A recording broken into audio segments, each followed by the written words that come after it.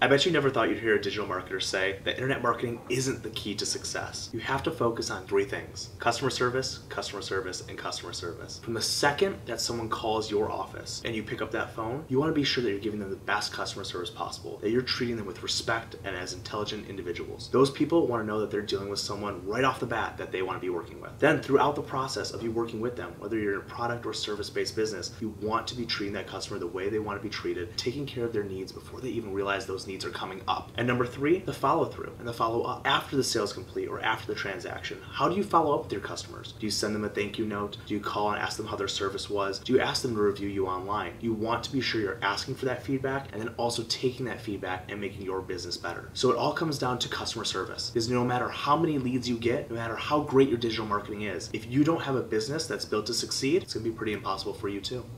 On a scale of 1 to 10, where do you put customer service right now in terms of importance in your business? And after choosing that number, should you reevaluate how important customer service is? Don't forget to like our video, comment, and share.